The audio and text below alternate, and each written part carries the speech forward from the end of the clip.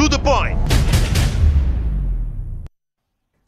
ನೋಡಿ, ರಾಜಕಾರಣ ನಾವು ಮಾತನಾಡ್ತಾನೆ ಇರ್ತೀವಿ. ಇನ್ನು ಮುಂದಿನ ವರ್ಷ ಕರ್ನಾಟಕ ಚುನಾವಣೆ ಮುಗಿಯೋವರೆಗೂ ರಾಜಕಾರಣನೇ. ಅದಾದ್ಮೇಲೆ ಒಂದಷ್ಟು ತಿಂಗಳುಗಳ ಬ್ರೇಕು, ಅದಾದ್ಮೇಲೆ ಮತ್ತೆ ಇಪ್ಪತ್ನಾಲ್ಕರ ರಾಜಕಾರಣ ನಾವು ಮಾತಾಡ್ತಿರ್ತೀವಿ. ಆದರೆ ಕರ್ನಾಟಕದ ಗಡಿಯಲ್ಲಿ, ಬೆಳಗಾವಿಯಲ್ಲಿ ಏನಾಗ್ತಿದೆ ಇದನ್ನು ನಾವು ಮಾತಾಡದೆ ಹೋದರೆ ರಾಜ್ಯಕ್ಕೆ ಅನ್ಯಾಯ ಮಾಡ್ದಂಗೆ ಆಗ್ತದೆ ಅಲ್ಲಿ ಇಬ್ಬರು ಮಿನಿಸ್ಟ್ರುಗಳು ಅವರ ಅವರ ರಾಜ್ಯದಲ್ಲಿ ಕೂತ್ಕೊಂಡು ನಾವು ಇಲ್ಲಿಗೆ ಬರ್ತೀವಿ, ನೀವು ನೋಡಿ ಅಂತ ಹೇಳ್ತಾರೆ. ಇವತ್ತು ಕನ್ನಡ ಪರ ಕಾರ್ಯಕರ್ತರು ಗಟ್ಟಿಯಾದ ಧ್ವನಿಯಲ್ಲಿ, ಸಾವಿರಾರು ಸಂಖ್ಯೆಯಲ್ಲಿ ಬೆಳಗಾವಿಗೆ ಧಾವಿಸಿ ಯಾವ ರೀತಿ ಉತ್ತರ ಕೊಡಬೇಕು? ಮರಾಠಿಗರ ಪುಂಡಾಟ. ಎಲ್ಲ ಮರಾಠಿಗರನ್ನ ಸಾರ್ವತ್ರಿಕವಾಗಿ ಮಾತನಾಡ್ತಾ ಇಲ್ಲ. ಕೆಲವರು ಈ ಕುತಂತ್ರ ಶಕ್ತಿಗಳಿದ್ದಾವಲ್ಲ ರಾಜಕೀಯಕ್ಕಾಗಿ ಬೇರೆ ಬೇರೆ ರೀತಿಯ ಭಾವನೆಗಳನ್ನ ಕೆರಳಿಸಿ ಎರಡು ರಾಜ್ಯದ ನಡುವೆ ಇರುವಂಥ ಸೌಹಾರ್ದತೆ ಶಾಂತಿಯನ್ನ ಕದುರಿಸುವಂಥ ಕೆಲಸ ಮಾಡ್ತಿದ್ದಾರಲ್ಲ, ಅವ್ರಿಗೊಂದು ಸ್ಪಷ್ಟ ಸಂದೇಶ ಹೋಗಬೇಕಾ ಬೇಡವಾ? ಎರಡನೇ ಚರ್ಚೆಯ ವಿಷಯ, ಗಡಿ ಸಂಘರ್ಷ. ಅಲ್ಲ, ಇವಾಗ ನಾವು ಕೇಳ್ತಿರೋದು ಭಾಳ ಸಿಂಪಲ್ ಇದೆ. ಒಂದು ವಾರದ ಹಿಂದೆ ಅಷ್ಟೇ ಇದೇ ರೀತಿಯ ಒಂದು ಚರ್ಚೆಯನ್ನು ಕೈಗೆ ತಗೊಂಡಾಗ ಅವತ್ತು ನಾವು ಕೇಳಿದ್ವಿ ಡಬಲ್ ಅಲ್ಲಪ್ಪ ಇಲ್ಲಿ ಟ್ರಿಪಲ್ ಎಂಜಿನ್ ಸರ್ಕಾರ ಇದೆ. ಯಾಕೆ ತ್ವರಿತವಾದ ಶಾಶ್ವತ ಪರಿಹಾರ ನಮಗೆ ಸಿಗ್ಲಿಕ್ಕೆ ಆಗೋದಿಲ್ಲ ಅಂತ. ನೋಡಿ ನಿಮ್ಮ ಸ್ಕ್ರೀನ್ ಮೇಲೆ ಇವತ್ತಿನ ಸಂಘರ್ಷದ ದೃಶ್ಯಗಳು. ಅಲ್ಲಿ ಕೊಲ್ಲಾಪುರದಲ್ಲಿ ಸಿನಿಮಾ ಥಿಯೇಟ್ರಲ್ಲಿ ಕನ್ನಡ ಸಿನಿಮಾ ಓಡ್ತಿದ್ರೆ ಆ ಸಿನಿಮಾ ಥಿಯೇಟ್ರನ್ನ ಬಂದ್ ಮಾಡ್ತೀರಿ. Kannada bus, Karnataka registration bus ಹೋದ್ರೆ ಆ ಬಸ್ಸಿಗೆ ಹೊಡಿತೀರಿ. ನಿಮಗೆ ಯಾವ ಭಾಷೆನಲ್ಲಿ ಅರ್ಥ ಆಗುತ್ತೋ ಅದೇ ಭಾಷೆನಲ್ಲಿ ಉತ್ತರ ಕೊಡ್ತೀವಿ ಅಂತ ಕನ್ನಡ ಪರ ಕಾರ್ಯಕರ್ತರು ಹಿಂಸಾಚಾರ ಒಪ್ಪುವಂಥದ್ದಲ್ಲ ಸ್ಪಷ್ಟವಾಗಿ ಹೇಳ್ತೀನಿ. ಆದರೆ ನಮ್ಮ ಅಸ್ತಿತ್ವ, ನಮ್ಮ ಅಸ್ಮಿತೆ, ನಮ್ಮ ಸ್ಥಾನ, ನಮ್ಮ ರಾಜ್ಯ, ನಮ್ಮ ಜನ, ನಮ್ಮ ನೆಲ, ಇದನ್ನೆಲ್ಲ ಬಿಟ್ಕೊಟ್ಬಿಡು ಅಂದ್ರೆ ಅಲ್ಲಪ್ಪ, ಮಾಜನ್ ವರದಿ ಇದೆ. ಹದಿನೆಂಟು ವರ್ಷದ ಕೇಸ್ ನಡೆಸ್ತಿದ್ರೆ ಅದ್ರಲ್ಲಿ ನಿಮಗೆ ಯಶಸ್ಸು ಸಿಗಲಿಲ್ಲ. ಇವತ್ತು ಇಲ್ಲಿ ಕೂತ್ಕೊಂಡು ನಾವಿಬ್ಬರು ಬರ್ತೀವಿ ಅಂತ ಹೇಳಿದ್ರಲ್ಲ, ಮುಖಕ್ಕೆ ಮಂಗಳಾರತಿ ಮಾಡಿದ್ರು. ಆ ತುಬಚ್ಚಿ ಮತ್ತೆ ಮತ್ತೆ ಬಬಲೇಶ್ವರ ಏರ್ ನೀತಿ ಏತ ನೀರಾವರಿಯಿಂದ ಯಾರಿಗೆ ನೀರು ಹೋಗ್ತಿದೆ? ನಾವು ತಗೊಂಡ್ವಾ? ಅತ್ಲಾಗೆ ನಿಮ್ಮ ನದಿಗಳು ತುಂಬಿದ್ರೆ ಘಟಪ್ರಭಾ ಮಲಪ್ರಭದಿಂದ ಬೆಳೆ ನಷ್ಟ ಆಯಿತು. ಯಾರು ನಷ್ಟ? ನಮ್ಮದು ನಾವು ನಿಮಗೆ ಮಾತಾಡಿದ್ವಾ ಅವತ್ತು? ಇಷ್ಟೆಲ್ಲ ಸಮಸ್ಯೆಗಳಿದ್ರೂ ಕೂಡ ಅನ್ಯೋನ್ಯವಾಗಿ ಪಕ್ಕದ ರಾಜ್ಯ ಒಳ್ಳೆ ಸಂಬಂಧ ಇರಲಿ ಅಂತ ನಾವು ನಾವು ಭಾಳ ಸಹನೆಯಿಂದ ಇದ್ದೀವಪ್ಪ ಕನ್ನಡಿಗರು. ಇದಕ್ಕೆ ಯಾಕೋ ಈ ಸಹನೆಗೆ ಬೆಲೆ ಇಲ್ಲ ಅಂತ ನಾನು ಈರಣ್ಣ ಕಡಾಡಿ ಅವ್ರಿಗೆ ಕೇಳ್ತೀನಿ ಮೊದಲನೇದಾಗಿ. ಅವರು ಈ ಪ್ರದೇಶಕ್ಕೆ ಈ ವಿಷಯಕ್ಕೆ ಭಾಳ ಹತ್ತಿರವಾದಂಥ ವ್ಯಕ್ತಿ. ಬೆಳಗಾವಿಯವರೇ ಆಗಿರೋದ್ರಿಂದ ಕಡಾಡಿಯವರೇ ಹೆಂಗಿತ್ತು ಹೆಂಗಾಯ್ತು. ಇನ್ನು ಮುಂದೆ ಇನ್ನೇನಾಗುತ್ತೆ ಅಂತ ಕೇಳ್ತಿದ್ದೀನಿ. ಇಲ್ಲ ಒಂದು ಬೆಳಗಾವಿ ಒಳಗಡೆ ಆ ತರದ ಯಾವುದೇ ಸಮಸ್ಯೆಗಳು ಇಲ್ಲ ಅಂತ ಅತ್ಯಂತ ಸ್ಪಷ್ಟವಾಗಿ ನಾನು ಹೇಳ್ತೀನಿ. ಒಂದು ಕಾಲಿತ್ತು ಮಹಾರಾಷ್ಟ್ರ ಏಕೀಕರಣ ಸಮಿತಿ ಭಾಷೆ ಹೆಸರಿನ ಮೇಲೇನೆ ಏಳು ವಿಧಾನಸಭಾ ಕ್ಷೇತ್ರಗಳನ್ನ ಕರ್ನಾಟಕದಲ್ಲಿ ಗೆದ್ದಿತ್ತು. ಅದೇ ಕಾಲದಲ್ಲಿ ಬೆಳಗಾವಿ ಜಿಲ್ಲಾ ಪಂಚಾಯತ್ನಲ್ಲಿ ಕೂಡ ಅವರದು ಪ್ರಬಲವಾದಂತ ಸ್ಥಾನಗಳು ಬಂದಿದ್ದು. ಆಮೇಲೆ ಬೆಳಗಾವಿ ಮಹಾನಗರ ಪಾಲಿಕೆ ಕೂಡ ಅವ್ರ ಹಿಡಿತದಲ್ಲಿತ್ತು. ಅದಾದ್ಮೇಲೆ ಕೆಲವು ತಾಲೂಕಾ ಪಂಚಾಯತಿಗಳು ಅವ್ರ ಹಿಡಿತದಲ್ಲಿದ್ದು. ಅಲ್ಲ ಏನ್ ಗೊತ್ತಾ? ಕನ್ನಡಿಯವರೇ ಒಂದ್ ನಿಮಿಷ ನಾನು ಒಂದ್ ಪ್ರಶ್ನೆ ಕೇಳೋದಕ್ಕೂ ಮುಂಚೆ ನನ್ನ ವೀಕ್ಷಕರಿಗಾಗಿ ತೋರಿಸ್ತೀನಿ. ಇದು ಬರೀ ಕರ್ನಾಟಕ ಮಹಾರಾಷ್ಟ್ರದ ಸಮಸ್ಯೆ ಅಲ್ಲ. ಒಟ್ಟು ಇಂಥ ಏಳು ಸೆವೆನ್ ಇಂಟರ್ ಸ್ಟೇಟ್ ಬಾರ್ಡರ್ ಡಿಸ್ಪ್ಯೂಟ್ಗಳು ಭಾರತದಲ್ಲಿದೆ. ಒಂದು ಅರುಣಾಚಲ, ಅಸ್ಸಾಂ. ನೆಕ್ಸ್ಟು ಅಸ್ಸಾಂ ಮೇಘಾಲಯ, ಅಸ್ಸಾಂ ನಾಗಾಲ್ಯಾಂಡ್, ಅಸ್ಸಾಂ ಮಿಜೋರಾಂ. ರೀಸೆಂಟ್ ಆಗಿ ಅಸ್ಸಾಂ ಮೇಘಾಲಯ ನಡುವೆ ಇರುವಂತ ಸಂಘರ್ಷದಲ್ಲಿ ಪೊಲೀಸರು ಮೇಘಾಲಯದ ನಿವಾಸಿಗಳ ಮೇಲೆ ಫೈರಿಂಗ್ ಮಾಡಿ ಆರು ಜನ ಪ್ರಾಣ ಕಳ್ಕೊಂಡ್ರು. ಕಾನ್ರಾಡ್ ಸಂಗಮ ಆ ರಾಜ್ಯದ ಮುಖ್ಯಮಂತ್ರಿ, ಪ್ರಧಾನಮಂತ್ರಿ ಮುಂದೆ ಹೋಗಿ ಅಳಲನ್ನು ತೋಡ್ಕೋಬೇಕಾಯ್ತು. ನಾವು ಆ ಹಂತಕ್ಕೆ ಹೋಗ್ಬೇಕಾ? ಬೇಕಾ ಪರಿಸ್ಥಿತಿ ನಮಗೆ? ಅಲ್ಲ, ಎರಡೂ ರಾಜ್ಯಗಳು ಅಭಿವೃದ್ಧಿಶೀಲ, ಅಭಿವೃದ್ಧಿ ಕೇಂದ್ರಿತವಾದಂಥ ರಾಜ್ಯಗಳು ಒಂದು ವ್ಯಾಪಾರಿ ಮನೋಭಾವನೂ ಇದೆ, ವ್ಯಾಪಾರಿ ಸಂಬಂಧನೂ ಇದೆ. ಇಷ್ಟೆಲ್ಲ ಇದ್ರೂ ಕೂಡ ಯಾಕೆ ನಾವು ಶಾಶ್ವತ ಪರಿಹಾರವನ್ನ ಹುಡ್ಕೋದ್ರಲ್ಲಿ ಯಶಸ್ಸನ್ನ ಕಂಡಿಲ್ಲ? ಕಡಾಡಿಯವರ ನಿಮ್ಮ ಅನುಭವದಲ್ಲಿ ಕೇಳ್ತಿದ್ದೀನಿ. ಅಲ್ಲ, ನಾನು ಅದನ್ನೇ ಹೇಳ್ತಾ ಇದ್ದೀನಿ. ನಾನು ಹೇಳ್ತಾ ಇದ್ದೆ, ಪ್ರಾರಂಭದಲ್ಲಿ ಇಷ್ಟೆಲ್ಲ ಹಿಡಿತಾ ಇದ್ದಂತ ಮಹಾರಾಷ್ಟ್ರ ಏಕೀಕರಣ ಏಕೀಕರಣ ಸಮಿತಿ ಕರ್ನಾಟಕದ ಒಳಗಡೆನೆ ಈ ಗಲಾಟೆಯನ್ನ ಮಾಡ್ತಾ ಇತ್ತು. ಇವತ್ತು ಅದರ ಅಸ್ತಿತ್ವ ಪೂರ್ವ ಹುಡುಗಿ ಹೋಗಿದೆ. ಅವರು ಮಹಾನಗರ ಪಾಲಿಕೆಯನ್ನು ಗೆದ್ದಿಲ್ಲ, ಅಲ್ಲಿ ಭಾರತೀಯ ಜನತಾ ಪಾರ್ಟಿ ಮೆಜಾರಿಟಿ ಇದೆ. ಯಾವುದೇ ಒಂದೇ ಒಂದು ವಿಧಾನಸಭಾ ಕ್ಷೇತ್ರ ಕೂಡ ಅವ್ರು ಗೆದ್ದಿಲ್ಲ. ತಾಲೂಕಾ ಪಂಚಾಯತಿಯಲ್ಲಿ ಅವ್ರು ಹಿಡಿತಾ ಇಲ್ಲ, ಜಿಲ್ಲಾ ಪಂಚಾಯತಿಯಲ್ಲಿ ಅವ್ರು ಹಿಡಿತಾ ಇಲ್ಲ. ಹೀಗಾಗಿ ಈ ವಿಷಯ ಕೇವಲ ಮಹಾರಾಷ್ಟ್ರದ ಕೆಲವು ರಾಜಕಾರಣಿಗಳು ತಮ್ಮ ಅಸ್ತಿತ್ವವನ್ನು ಉಳಿಸಿಕೊಳ್ಳುವಂತ ದೃಷ್ಟಿಯಿಂದ ಬೆಳಗಾವಿಯಲ್ಲಿ ಕಿಚ್ಚ ಹಚ್ಚತಕ್ಕಂತ ಕೆಲಸವನ್ನ ಅವ್ರು ಮಾಡ್ತಾ ಇದ್ದಾರೆ. ಅದಕ್ಕೆ ನಾವು ಯಾರಿಗೂ ಬೆಲೆ ಕೊಡಬೇಕಾದಂತ ಅಗತ್ಯ ಇಲ್ಲ. ಸರ್ಕಾರ ಕೂಡ ಅತ್ಯಂತ ಸ್ಪಷ್ಟವಾದ ಮಾತುಗಳಲ್ಲಿ ಹೇಳಿದೆ.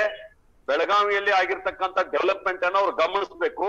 ಮತ್ತು ಬಾರ್ಡರ್ನಲ್ಲಿ ಮಹಾರಾಷ್ಟ್ರದಲ್ಲಿ ಯಾವ ರೀತಿ ನೀವು ಅಭಿವೃದ್ಧಿಯನ್ನ ಮಾಡಿದಿರಿ ಮಹಾರಾಷ್ಟ್ರದ ಜನ ಕರ್ನಾಟಕಕ್ಕೆ ಬರ್ತೀವಿ ಅಂತ ಹೇಳ್ತಾ ಇದಾರಲ್ಲ ಅದನ್ನ ಸರಿ ಮಾಡ್ಕೊಡ್ರಿ ಅಂತಕ್ಕಂಥ ಮಾತನ್ನ ಇವತ್ತು ನಮ್ಮ ರಾಜ್ಯದ ಮುಖ್ಯಮಂತ್ರಿಗಳು ಹೇಳಿದ್ದಾರೆ. ಅಲ್ಲ ಅದನ್ನ ಕರಾಡಿಯವರೇ ನಿಮಿಷ ಮುಂದುವರೆದು ಅವರೇ ಕರಾಡಿ ಅವರೇ ನಾನು ಇನ್ನೊಂದು ಪ್ರಶ್ನೆ ನಾನು ಇದಕ್ಕೂ ಮುಂಚೆನೂ ಕೇಳಿದ್ದೀನಿ. ಅಶೋಕ್ ಚಂದರ್ಗಿ ಅವರಿದ್ದಾರೆ ಬಹಳ ಹಿರಿಯರು.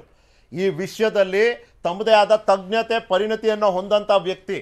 ಅವರ ನಿರಂತರ ಹೋರಾಟ ಕನ್ನಡ ಪರ ಧ್ವನಿ ಎತ್ತುವಂಥ ಪ್ರತಿಯೊಂದು ಶ್ರಮಕ್ಕೂ ನಮ್ಮ ಸಂಪೂರ್ಣ ಬೆಂಬಲ ಇದೆ. ಅಶೋಕ್ ಚಂದರ್ಗಿ ಅವರ ಸ್ವಾಗತ ನಿಮಗೆ. ನೋಡಿ ನಾನು ಕೇಳೋ ಪ್ರಶ್ನೆ ಬಹಳ ಬೇಸಿಕ್ ಇದೆ. ರೀಸೆಂಟ್ ಆಗಿ ನೀವು ಪಿ ಎಫ್ ಐ ಬ್ಯಾನ್ ಮಾಡಿದ್ರೆ. ನಾವು ಕೇಳಕ್ ಹೋಗೋದಿಲ್ಲ. ಅದಕ್ಕೆ ಆದಂಥ ಕಾರಣಗಳಿದೆ. ನಾನು ಕೇಳೋ ಪ್ರಶ್ನೆ ಬಹಳ ಲಾಜಿಕಲ್ ಇದೆ. ಕನ್ನಡಿಯವರೇ ಪ್ಲೀಸ್ ಇದಕ್ಕೆ ಉತ್ತರ ಕೊಡಿ. ಕರ್ನಾಟಕದಲ್ಲಿ ಕನ್ನಡ ನಾಡಲ್ಲಿ ಮಹಾರಾಷ್ಟ್ರ ಏಕೀಕರಣ ಸಮಿತಿ ಅನ್ನೋ ಸಂಘಟನೆಗೆ ಅವಕಾಶ ಇರಬೇಕಾ? ಇದನ್ನ ಅಸಂವಿಧಾನಿಕ ಕಾನೂನು ಬಾಹಿರ ಅಂತ ಹೇಳಿ ಯಾಕೆ ನೀವು ಇದನ್ನ ರದ್ದುಪಡಿಸಬಾರ್ದು? ಇದರಲ್ಲಿ ಇರುವಂತ ಸದಸ್ಯರನ್ನ ಅಪರಾಧಿಗಳಂತೆ ಯಾಕೆ ನೋಡಬಾರ್ದು? ಕರ್ನಾಟಕದಲ್ಲಿ ಮರಾಠಿ ಏಕೀಕರಣ ಸಮಿತಿಗೆ ಮಹಾರಾಷ್ಟ್ರ ಏಕೀಕರಣ ಸಮಿತಿಗೆ ಏನು ಕೆಲಸ? ಅಲ್ಲ ಒಂದು ಅದರ ಅಸ್ತಿತ್ವವೇ ಇಲ್ಲ ಅಂದ್ಮೇಲೆ ಕಿತ್ತಾಕು ಪ್ರಶ್ನೆನ ಉದ್ಭವ ಆಗುದಿಲ್ಲ ಅಂತ ನಾನು ಅದನ್ನೇ ಹೇಳ್ತಾ ಇದ್ದೀನಿ. ನಮ್ಮ ಕನ್ನಡಿಗರ ಅಲ್ಲ ಅಲ್ಲ ಅಲ್ಲ ಯಾರು ಯಾರು ಜಗಳ ಆಡಿಸ್ತಾ ಇದ್ದಾರೆ? ಕರ್ನಾಟಕದ ವಿಷಯ ಬಂದಾಗ ಯಾವುದೇ ಪಾರ್ಟಿ ಇರ್ಲಿ ಅಥವಾ ಯಾವುದೇ ಜನ ಇರ್ಲಿ ಎಲ್ಲರೂ ಒಟ್ಟಿಗೆ ನಿಂತಿದ್ವಿ ನಾವು ಬೆಳಗಾವದೊಳಗ ಹೀಗಾಗಿ ಆ ಸಮಸ್ಯೆಗೆ ಒಂದು ಅಂತ್ಯ ಆಗಿದೆ. ಆದ್ರೆ ಆ ಮಹಾರಾಷ್ಟ್ರದ ಕೆಲವು ರಾಜಕಾರಣಿಗಳು ಬೆಳಗಾವಿಯನ್ನ ಇಟ್ಟುಕೊಂಡು ತಮ್ಮ ಬೆಳೆಯನ್ನ ಏನ್ ಬೆಳೆಸ್ಕೊಳ್ತಾ ಇದ್ರೆ ಅದ್ರ ಬಗ್ಗೆ ಗಂಭೀರವಾದಂತ ಚಿಂತನೆಯನ್ನ ಇವತ್ತು ನಾವು ಮಾಡ್ಬೇಕಾಗಿದೆ. ಅಲ್ಲ ಒಂದ್ ನಿಮಿಷ ಕರಾಡಿ ಅವರೇ ವೆರಿ ಕ್ವಿಕ್ಲಿ ಟ್ರಿಪಲ್ ಎಂಜಿನ್ ಕರ್ನಾಟಕದಲ್ಲೂ ಬಿಜೆಪಿ ಕೇಂದ್ರದಲ್ಲೂ ಬಿಜೆಪಿ ಮಹಾರಾಷ್ಟ್ರದಲ್ಲೂ ಬಿಜೆಪಿ ಬೆಂಬಲಿತ ಸರ್ಕಾರ. ಅಂದ್ರೆ ನೀವು ಸರ್ಕಾರದಲ್ಲಿ ಇದ್ದೀರಿ ಯಾಕೆ ಇದಕ್ಕೆ ಶಾಶ್ವತ ಪರಿಹಾರ? This is the best and Kadadi ಅವರೇ. ಇದಕ್ಕಿನ್ನ ಒಳ್ಳೆ ಅವಕಾಶ ಮತ್ತೆ ಸಿಗೋದಿಲ್ಲ. ಅಲ್ಲಿ ಕಾಂಗ್ರೆಸ್ ಇದ್ದು ಇಲ್ಲಿ ಬಿಜೆಪಿ ಇದ್ರೆ ಹೂನಪ್ಪ. ಇಲ್ಲಿ ಕಾಂಗ್ರೆಸ್ ಇದ್ದು ಅಲ್ಲಿ ಬಿಜೆಪಿ ಇದ್ರೆ ಹೂನಪ್ಪ. ಎರಡು ಕಡೆ ಬಿಜೆಪಿ ನಿಖಿಲ್ ಅವರು ಇದು. ನಿಖಿಲ್ ಅವರು ಇದು. ಯಾವುದೇ ಪಕ್ಷಗಳಿಗೆ ಸಂಬಂಧಪಟ್ಟಂತ ವಿಷಯ ಅಲ್ಲ. ಆಯಾ ರಾಜ್ಯಗಳಲ್ಲಿ ಸಂಬಂಧಪಟ್ಟಂತ ರಾಜ್ಯದ ಜನರ ಭಾವನೆಗಳಿಗೆ ಸಂಬಂಧಪಟ್ಟಂತ ವಿಷಯ ಇದೆ. ಹೀಗಾಗಿ ಆ ರಾಜ್ಯದಲ್ಲಿ ಯಾವುದೇ ಪಾರ್ಟಿ ಇದ್ರು ಕೂಡ ಈ ರೀತಿಯಾದಂತ ಚಟುವಟಿಕೆನೆ ಮಾಡ್ತದೆ. ಅದು ಕಾಂಗ್ರೆಸ್ ಇದ್ದಾಗೂ ಇದೇ ರೀತಿ ಚಟುವಟಿಕೆ ಮಾಡ್ತದೆ ಇವತ್ತು ಬಿಜೆಪಿ ಇದ್ದಾಗೂ ಅದೇ ರೀತಿ ಚಟುವಟಿಕೆ ಮಾಡ್ತದೆ. ನಾವು ಕರ್ನಾಟಕದಲ್ಲೂ ಕೂಡ ಕರ್ನಾಟಕದ ನೆಲ ಜಲ ಭಾಷೆ ಗಡಿ ಪ್ರಶ್ನೆ ಬಂದಾಗ ಯಾವುದೇ ಪಾರ್ಟಿ ಇದ್ರು ಕೂಡ ನಾವು ಅಶೋಕ್ ಅಶೋಕ್ ಚಂದರ್ಗಿ ಅವ್ರ ಇದ್ದಾರ? ಅಶೋಕ್ ಚಂದರ್ಗಿ ಅವ್ರ ನನ್ನ ಧ್ವನಿ ಕೇಳ್ತಿದ್ಯಾ? ಅಶೋಕ್ ಚಂದರ್ಗಿ ಅವರೇ ಸದ್ಯಕ್ಕೆ ಇವತ್ತು ನಾವು ನೋಡಿದ್ದೀವಿ ನಿಜವಾದ ಸಂಘರ್ಷವಾಗಿ ಪರಿಣಮಿಸಿತ್ತು. ಇವತ್ತಿನ ಪರಿಸ್ಥಿತಿಗಳನ್ನ ನಾವು ನೋಡಿದ್ದೀವಿ. ಅವರಿಬ್ಬರು ಮಂತ್ರಿಗಳು ಬರ್ತೀವಿ ಏನು ಮಾಡ್ತಿರೋ ಮಾಡ್ರಿ ಅನ್ನೋ ತರ ಹೇಳಿದ್ರು. ಅಂಬೇಡ್ಕರ್ ಅವರ ದಿನವನ್ನ ಅವರ ಡೆತ್ ಆ್ಯನಿವರ್ಸರಿಯ ದಿನವನ್ನ ಅವರು ನೆಪವಾಗಿ ಇಟ್ಕೊಂಡು ಇವತ್ತು ನಾವು ಬಂದಿಲ್ಲ ಅಂತ ಹೇಳ್ತಿದ್ದಾರೆ. ಏನಿದ್ರ ಅರ್ಥ? ಸರ್ಕಾರ ಏನು ಮಾಡಲಿಲ್ಲ ಏನು ಮಾಡಬೇಕಿದೆ ಅಂತ ನಿಮ್ಮ ಅನುಭವದಲ್ಲಿ ಹೇಳ್ಬಿಡಿ. ಇದು ನೋಡಿ ನಿಖಿಲ್ ನಿಖ್- ನಿಖಿಲ್ ಜೋಶಿ ಅವರೇ ನಿಖಿಲ್ ಜೋಶಿ ಅವರೇ ನಾ ಹೇಳ್ತೇನೆ ಇರಾನ ಕಡಾಡಿ ಅವರು ಸ್ವಲ್ಪ ಕೇಳಿಸ್ಕೊಂಡ್ರೆ ಒಳ್ಳೆಯದು ಎರಡು ದೃಷ್ಟಾಂತಗಳನ್ನು ಕೊಡ್ತೇನೆ. ಹೋದ ಡಿಸೆಂಬರ್ನಲ್ಲಿ ಬೆಳಗಾವಿಯಲ್ಲಿ ವಿಧಾನಮಂಡಲ ಅಧಿವೇಶನ ಆಯಿತು. ಇಡೀ ಸರ್ಕಾರವೇ ಬೆಳಗಾವಿಯಲ್ಲಿ ಇತ್ತು. ಮಧ್ಯರಾತ್ರಿ ಮೂರು ಸಾವಿರ ಮರಾಠಿಗರ ಉದ್ರಿಕ್ತ ಗುಂಪು ದೊಡ್ಡ ಪ್ರಮಾಣದಲ್ಲಿ ಗಲಾಟೆ ಮಾಡಿದರು. ಇಡೀ ಸರ್ಕಾರಕ್ಕೆ ಸವಾಲು ಹಾಕುವ ರೀತಿಯಲ್ಲಿ ಸರ್ಕಾರಿ ವಾಹನಗಳನ್ನು ಪುಡಿಪುಡಿ ಮಾಡಿದರು. ಬೆಂಕಿ ಹಚ್ಚಿದರು. ಆ ಟೈಮ್ದಲ್ಲಿ ಸನ್ಮಾನ್ಯ ಮುಖ್ಯಮಂತ್ರಿ ಬಸವರಾಜ ಬೊಮ್ಮಾಯಿ ಅವರು ವಿಧಾನಸಭೆಯಲ್ಲಿ ಒಂದು ಹೇಳಿಕೆ ಕೊಟ್ಟರು ಒಂದು ಸೆನ್ಸ್ಯೂರ್ ಮೋಷನ್ ಪಾಸ್ ಮಾಡಿದರು. ನಾವು ಎಂ ಎಸ್ ಅನ್ನು ನಿಶ್ಚಯಿಸ್ತೇವೆ ನಾಡದ್ರೋಹಿಗಳನ್ನ ಮಟ್ಟ ಹಾಕ್ತವೆ ಅಂತೇಳಿ ಸ್ಟೇಟ್ಮೆಂಟ್ ಕೊಟ್ಟದ್ದನ್ನ ಕಡಾಡಿ ಅವರು ತಿಳ್ಕೊ, ಅವ್ರು ಕೇಳಿಸ್ಕೊಂಡಿರ್ಬೋದು. ಆಮೇಲೆ ಅವ್ರನ್ನೆಲ್ಲ ಅರೆಸ್ಟ್ ಮಾಡಿ ಫಸ್ಟ್ ಮೊಟ್ಟ ಮೊದಲು one twenty four A sedition act ದೇಶದ್ರೋಹದ ಕಾನೂನು ಬಳಸ್ತೀವಿ ಅಂತ ಬೊಮ್ಮ ಅವ್ರು ಹೇಳಿದಾಗ ಇಡೀ ಬೆಳಗಾವಿ ಸಂಘಟನೆ ಕೂಡಿ ನಾವು ಪ್ರೆಸ್ ಮೀಟ್ ಮಾಡಿ, ಆಹಾ ನಮ್ಮ ಸರ್ಕಾರ ಮೊಟ್ಟ ಮೊದಲಿಗೆ ಕೆಲಸ ಮಾಡಿದೆ ಅಂತ ನಾವು ಸ್ವಾಗತ ಮಾಡಿದ್ದೇವೆ. ನಿಮಗೆ ಆಶ್ಚರ್ಯ ಆಗಾತಂದ್ರೆ ಆರೋಪ ಪಟ್ಟಿ ಸಲ್ಸು ಮುಂದೆ one twenty four A section ಬಿಟ್ಟು ಹೋಗಿತ್ತು.